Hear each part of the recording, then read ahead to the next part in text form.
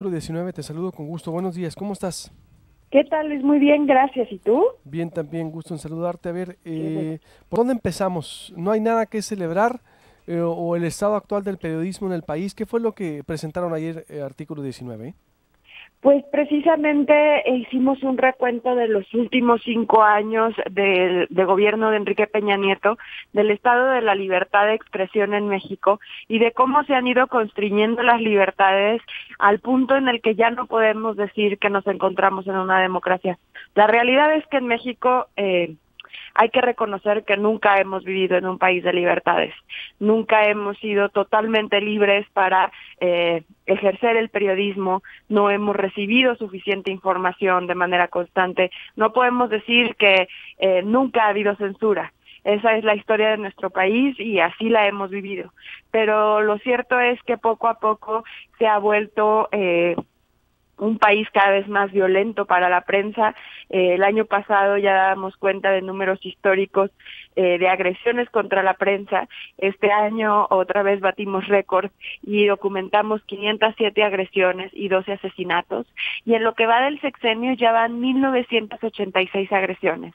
Esto es algo histórico eh, que al final pues lo que genera es más censura, silencio, un silencio que es muy redituable para el poder para que se mantenga el estado de corrupción y el estado de impunidad. ¿Qué periodo, perdón, me puedes repetir ese, ese, ese número? 1986 agresiones en los cinco años de gobierno de Enrique Peña Nieto. 1986 agresiones. Así es, y 41 asesinatos que, que lamentablemente vimos recientemente esta semana como en Eslovaquia el, el primer ministro tuvo que dimitir eh, tras una serie de protestas por el asesinato de un periodista, a un periodista, y aquí tenemos 41 periodistas asesinados y no pasa nada. Terrible. Uh, esas agresiones, de ¿cómo se, es decir, o cómo describirlas? Porque son 41 asesinatos en 5 años y 1986 de qué tipo, por ejemplo. Son 1986 agresiones que van desde las amenazas, las intimidaciones, en muchas ocasiones se les quitan a los periodistas sus cámaras, sus libretas, etcétera, a través de intimidación o golpes y este daños materiales. También vemos constantemente, eh, documentamos como, eh, por ejemplo, eh, la, el bloqueo de comunicaciones es una forma también constante de agredir. Si, si tienes una página de internet y te la bajan, eh, la remoción de contenidos, eh, etcétera es una tipología amplia que tiene que ver con todo el tipo de violencias a las que se enfrentan los periodistas, incluidas también la vigilancia, el espionaje, eh, bien. la desaparición y la tortura. Me imagino y todo esto está impune, empezando por los 41. Sí, definitivamente no existe hoy por hoy ningún caso en el que se haya dado verdad y justicia para las víctimas. Lejos de que hay algunos casos en los que se ha identificado al perpetrador material de, de, la agresión, es decir, quien tiró del gatillo, no se ha identificado quién da la orden, es decir, quién es el autor intelectual. Y esto pues obviamente genera incentivos positivos para los perpetradores para seguir agrediendo a la prensa. Si no hay un combate decidido a la impunidad, entonces no habrá ninguna protección para la prensa. ¿Qué es lo que desde tu punto de vista ocurrió o sucede en este sexenio? Eh, ¿Es falta de sensibilidad, falta de interés, eh, de incomodidad por la prensa? Es decir, eh, comparando con Calderón, no sé si, si sea peor, pero ¿cuál sería la valoración que tienen ustedes? Bueno, ahí respecto a Calderón, sí ha habido una serie, un, en, el, en el periodo de Calderón fueron alrededor de 1.040 agresiones, eh, un, un, número mucho menor al, al, de ahora. Sin embargo, el número de asesinatos ocurridos en contra de la prensa en el periodo de Calderón sigue siendo muy alto, fueron 48 asesinatos. Y al final, eh, pues esto, esta violencia no se acabó cuando, cuando sale Calderón, sino que se intensifica en el momento en el que entra Enrique Peña Nieto. Eh, es importante decir también que eh, con Fox eran muchas menos. Eso es algo, eh, eso es algo se detona eh, relativamente de una manera o más bien explota justo con el inicio de la guerra contra el narcotráfico. Eh, ahí es cuando cuando empieza a explotar y esto tiene una razón de ser. Los periodistas están dando cuenta de lo que ocurre afuera de lo que nosotros eh, queremos saber de lo que está pasando. Y al final ellos son los que están en la línea de fuego. Eh, nosotros sabemos del estado de la situación de la impunidad y de la corrupción eh, mayormente gracias al periodismo. Lo vivimos, pero al final el periodismo nos los cuenta y nos los cuenta todos los días. Y en esa medida es que ellos son eh, los que se encuentran directamente en la línea de riesgo y, eh, y, y, de esa manera pues fue que incrementaron las agresiones de manera significativa. Pero es importante decir que si bien es cierto que eh, con el inicio de, de, de, de, Calderón y con y con Vicente y con Enrique Peña Nieto se crearon instituciones para garantizar supuestamente la libertad de expresión lo cierto es que estas instituciones no han dado resultados.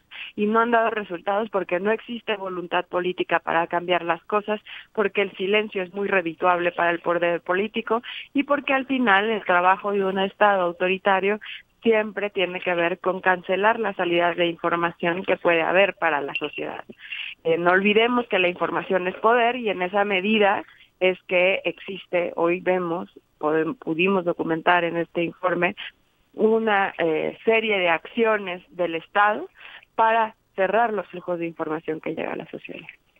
Bien, eh, Ana Cristina, ¿qué entonces, hacia dónde o cuál sería el siguiente paso? Porque eh, pues la violencia se sigue presentando, digo, lo, lo, vimos aquí en Sonora, en todo el país, desgraciadamente, así está, una falta de valoración o una especie de guerra contra el periodismo también, Ana Cristina.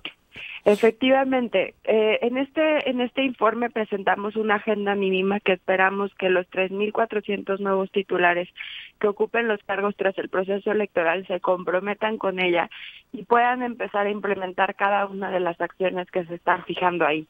Es una agenda, como bien lo dice el nombre, mínima, porque son las mínimas acciones que se requieren para combatir este problema estructural de la violencia contra la libertad de expresión y que al final termina impactando directamente en el nivel de información que recibe la sociedad.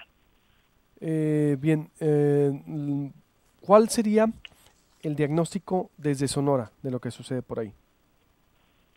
Pues precisamente creo que una de las cuestiones que es muy importante identificar, ahí pueden ver en, en, en la página mapa.artículo 19 org específicamente las condiciones en las que se encuentra el estado de Sonora si bien es cierto que Sonora todavía no es uno de los estados en los que figura con mayores agresiones a la prensa, sí hemos documentado una serie de agresiones que han ido proliferando en los últimos años y esto es un foco rojo que no podemos dejar de ver, que necesitamos tener en el radar a efectos de que se considere que aun cuando sea un tipo de violencia sutil, una violencia más sofisticada que no implique eh, directamente la agresión sigue siendo violencia y está generando que la, que la sociedad sonorense deje de informarse de manera efectiva. Esto es lo que no se puede permitir la sociedad, más aún ante un proceso electoral tan complejo como el que está, como el que tenemos de frente, porque necesitamos precisamente información de interés público. Totalmente, y respetarnos todos en, todos los ámbitos, en todos los niveles, y respetar a cada medio con su formas de trabajo, metodología y pero lo importante también es que hay eh, organizaciones como Artículo 19 que están ahí velando y pues enhorabuena Ana Cristina por este eh, reporte, enhorabuena por hacerlo, pero desgraciadamente como se dice no hay nada que celebrar. Eh, ¿Algo más que quieras agregar para cerrar con esto? Pues invitar a todos tus escuchas a que revisen el informe, está en la página www.articulo19.org. Muy bien. Gracias, Ana Cristina. Muchísimas gracias a ti. Buenos días. Eh, voy con más información. Ah, no, voy a hacer un corte ya. Está circulando eh, una encuesta de, mm, a ver, de cómo se llama, de TM Reporte, de Heriberto Tapia, que es la verdad un especialista en encuestas y quien le atinó a la elección de 2015, en donde pues va a la cabeza Andrés Manuel López Obrador en Sonora y en las fórmulas para el Senado va la encabeza Silvana Beltrones y Maloro Acosta. Eh, según TM Reporte, a ver, ya lo invitaré para mañana, no sé, pero está circulando, lo trae el WhatsApp de Armando Vázquez, que es una casa encuestadora sobre presidenciales y los aspirantes al Senado, y le está dando una eh, amplia ventaja al, en el arranque, bueno, o en la víspera del arranque, ¿no?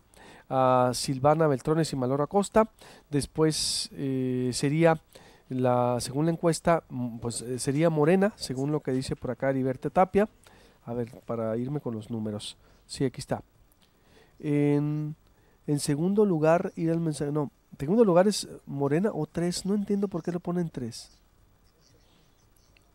21.3%, Lili Telles y Alfonso Durazo.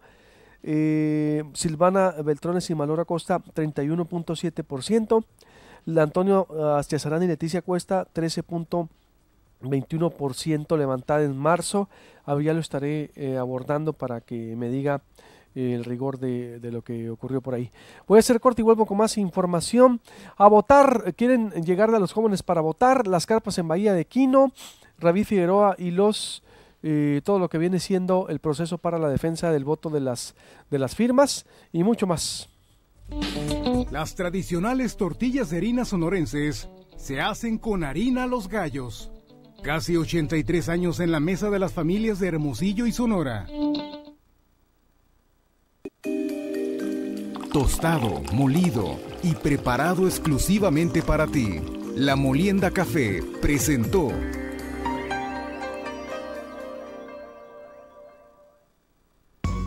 Project Digital, publicidad en grande. Ubicación, las mejores de la ciudad. Tu marca a donde todos van. Nitidez e imagen para tu negocio, solo en Project Digital. 210 60 77. 210 60 77.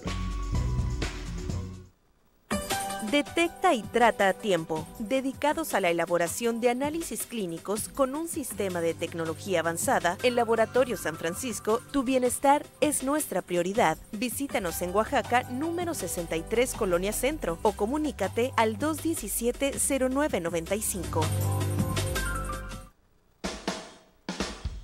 ¿Qué ocupas para tu celular? ¿Un protector? ¿Un cargador? ¿El vidrio templado? Si lo buscas, lo encuentras. Venta de telefonía y accesorios en Cellular Fast, distribuidor autorizado Telcel, ubicado en Guerrero 99, Colonia Centro. Teléfono 213-1000. Cellular Fast es tecnología. Cellular Fast, distribuidor autorizado Telcel. Ballesta. Mariscos y carnes. Todo el deleite de la tierra y el mar en abundancia. Callo, pulpo, jaiba, camarones, pastas, cortes finos y ensaladas en su punto. Quiroga y Navarrete. Ballesta. Mariscos y carnes. 298-7022. A los más trabajadores, a los más madrugadores, Laboratorio San Francisco les da la bienvenida. Estamos de regreso con más de Proyecto Puente.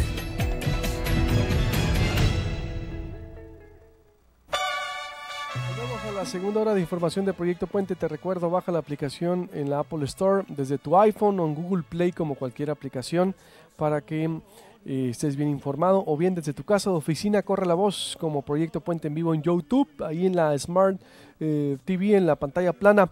Felicidades a Eduardo Lemenmeyer Jr., al hijo de Eduardo Lemenmeyer, al director de turismo que lo vamos a entrevistar ahorita. Un fuerte abrazo para él, está cumpliendo años. Bárbara Rival también, saludos. Isela Hong, la colega. Héctor Forlán Campos, saludos, también está cumpliendo años. Luis Carlos Flores, a todos los que estén cumpliendo años el día de hoy y celebrando algo en especial que la pasen de eh, lo mejor el día de hoy. Eh,